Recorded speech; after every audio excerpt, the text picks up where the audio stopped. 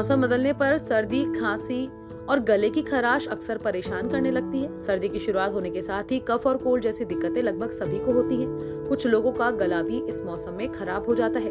कई बार खराब गले को ठीक करने के लिए महँगे एंटीबायोटिक्स और कफ सिरप भी काम नहीं आते। गले के इन्फेक्शन सर्दी और खांसी को ठीक करने के लिए कई घरेलू नुस्खे कारगर हैं। ऐसे ही कुछ नुस्खों के बारे में आज आपको मैं बताती हूँ। इन नुस्खों में घर में मौजूद चीज़ों का इस्तेमाल होता है और इसकी मदद से आप आसानी से खराब गले से निजात पा सकते हैं। सबसे पहले बात करेंगे दालचीनी और शहद के बारे में। दालचीनी और शहद भी गले के इन्फेक्शन को दूर करने में कारगर है। दालचीनी के लगभग चौथाई चम्मच पाउडर को आधा रह जाने तक उबाल और जब ये रूम टेम्परेचर पर आ जाए तो इसमें शहद मिला ले। आपको इससे फ़ायदा होगा, ये गले की जकड़न और खराश को कम करती है, इससे सर्दी और खांसी और गले की तकलीफें दूर होती है। अब बात करते हैं हल्दी वाले पानी के बारे में।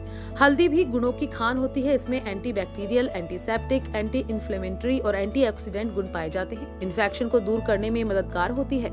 लहसुन, हल्दी का और गुड़ का पेस्ट गर्म पानी के साथ खाने से राहत मिलती है। वहीं आप हल्दी और नमक के पानी भी पी सकते हैं और गरारे भी कर सकते हैं। अब बात करते हैं काली मिर्च और शहद के बारे में।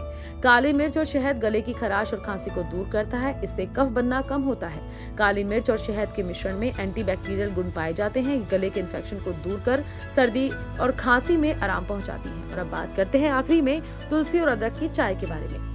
सर्दियों के मौसम में हेल्दी रहने के लिए तुलसी और अदरक की चाय फ़ायदेमंद होती है। आप चार या पाँच तुलसी के पत्ते ले सकते हैं। इसमें आधा इंच अदरक का टुकड़ा डाल सकते हैं और इन दोनों चीज़ों को पानी में डालकर आधा रह जाने तक उबालें। फिर इसे छान लें। इसे गुनगुना पिए। आप इसमें शहद भी मिला सकते हैं, लेकिन शहद को चाय के रूम टेम्परेचर आने पर ही मिलाएँ। अदरक और तुलसी में एंटी वायरल और एंटी बैक्टीरियल गुण पाए जाते हैं। गले की खराश को दूर करते हैं। आपको हमारी स्टोरी कैसी लगी हमें कमेंट करके ज़रूर बताएँ उसे लाइक और शेयर ज़रूर करें।